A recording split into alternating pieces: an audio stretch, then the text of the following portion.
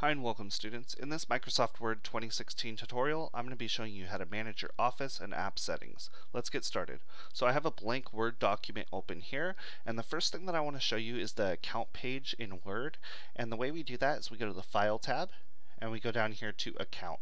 And when you click on Account on the left side, you'll see that it gives you your user information right over here, as well as uh, your options for signing in or switching your account.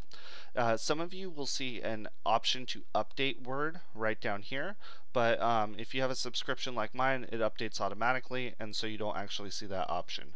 Over here you have your office background and currently I do not have a background set and I'm going to show you what that background is. So this is where you customize Word to give it a little bit more of a personal feel and if you hover over any of these look in the top right of my screen and you'll notice that they are changing the overall uh, background of what goes on with Microsoft Office for me. So this would go across all of the applications, Word, Excel, Access, PowerPoint, any application that I'm using.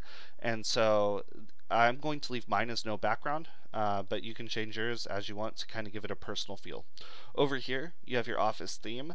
This one serves a more practical use. You have your colorful theme, your dark gray theme, as you can see right there, or a white theme. So depending on your room that you're working in, you want to make sure that your theme is kind of set up to the way that you want. I leave mine as colorful because I do tutorials and most people leave it as colorful anyway and I don't want them to be concerned if they say, hey, why is yours in dark gray or why is yours so bright? Um, again, you want to set it up for your own personal situation. So right here, Dark gray, that's if you typically work in a dark room or it's generally dark in your area. Dark gray is good because it'll be less light on your eyes. And so if it is in dark gray theme, um, again, it won't project so much light onto you. Uh, you also have the white theme. This one is a lot brighter. Okay, now if you're in a very bright room or you prefer bright colors, this would be the theme to go for you.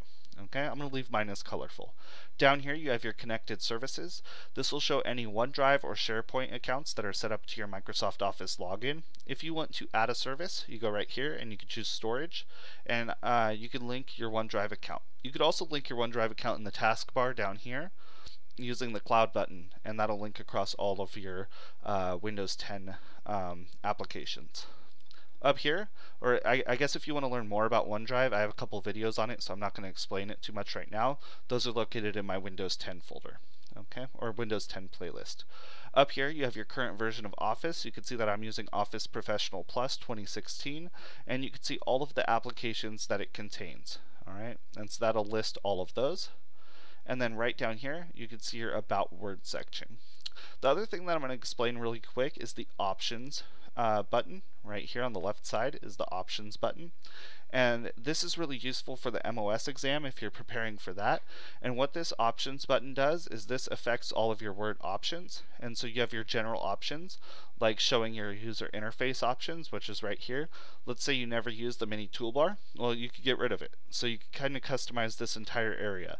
You have your display settings which will show uh, certain formatting marks on the screen by default over here is proofing settings. So if you have any autocorrect options where you want to change certain words to apply across, um, you know, Microsoft Word. So if you type in something like um, uh, GTD, G, GTG and it says got to go, you can change up your options there.